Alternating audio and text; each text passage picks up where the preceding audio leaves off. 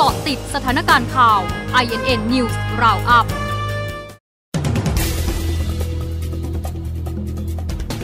18นาฬิกา10 นาที อนุชานาคาสายห่วงพระติดเชื้อโควิด กำชับทุกวัดปฏิบัติตามมติมสและมาตรการป้องกันการแพร่ระบาด 18นาฬิกา26 นาที ตอมสกัดแรงงานต่างด้าวหลบหนีเข้าเมืองช่วง 4 เดือน จับแล้วกว่า 2,400 คน ขณะผู้บัญชาการสตมยันเดินหน้าปราบปรามต่อ เพื่อป้องกันการแพร่ระบาดของโรคโควิด -19 18นาฬิกา41 นาที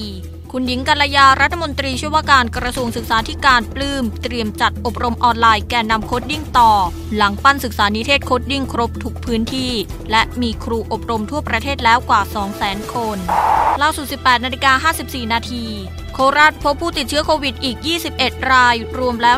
144 ราย คลัสเตอร์หมูกระทะตามตัวคนยาก ขณะบุคลากรทางการแพทย์ติดแล้ว 1 ราย